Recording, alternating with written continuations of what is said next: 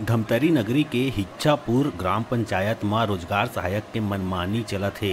बतादन रामनगर सामुदायिक भवन में रोज़गार सहायक ला हटाए के नाव में ग्रामीण एकजुट होए रहिन।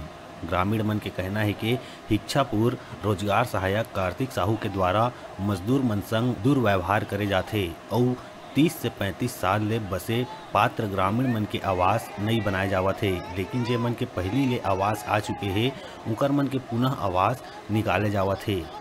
ग्रामीण मन के द्वारा रोज़गार सहायक हटाओ के ज़ोर शोर ले नारा भी लगाई गई। आक्रोशित ग्रामीण मन ह, रोज़गार सहायक के हरकत मन ले परेशान हो गए है।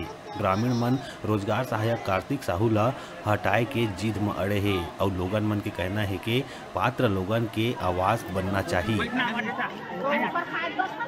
हमारे परेशानी है, जब हम, जब कभी काम करने जाते हैं रोज़गार सहायता में, वो यही बोलता है कि दो पैसा काम नहीं करते हो फोकट के चोर पाते हो फोकट के रोजी पाते हो तो हम मन चूतिया बन के हम काम करे जाथन जी। है? हमको रोज़गार सहायता नहीं चाहिए। उसके बाद जब कभी भी आवास कि आवास आता है, नहीं, उसका नाम में आएगा, उसका नाम में आगा है, ऐसे करके हमको बहका देता है। फोकट के चावल फोकट के पैसा खात हो इस करके लेबर मन ला कर बोले है वो और हमला रोज़गार है सहायक नहीं चाहिए और चार जन मेट नहीं चाहिए। मतलब फोकट के चावल फोकट के पैसा खात हो लेबर मन ते कर से बक बकात हो किस। से नहीं दे ना आवाज़ घर नहीं आए। और जे काली का आया है तेकर आवास आहे लेंटर घर बने तेकर आवास आहे और उतना दिन के बैठे तिकर कोई नहीं आया है आवास घर।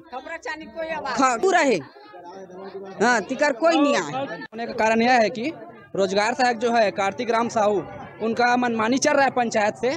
जिनका आवास आया हुआ है, उनका पुनर्वास आ गया। और जो पात्र है, दस साल, बारह साल, बीस साल, तीस साल से बैठे हैं, उनका घर आवास आया ही नहीं है। चल रहा है, इसमें मनमानी चल रहा है, मेट का मन, मनमानी चल रहा है रोज़गार सहायक का मनमानी चल रहा है।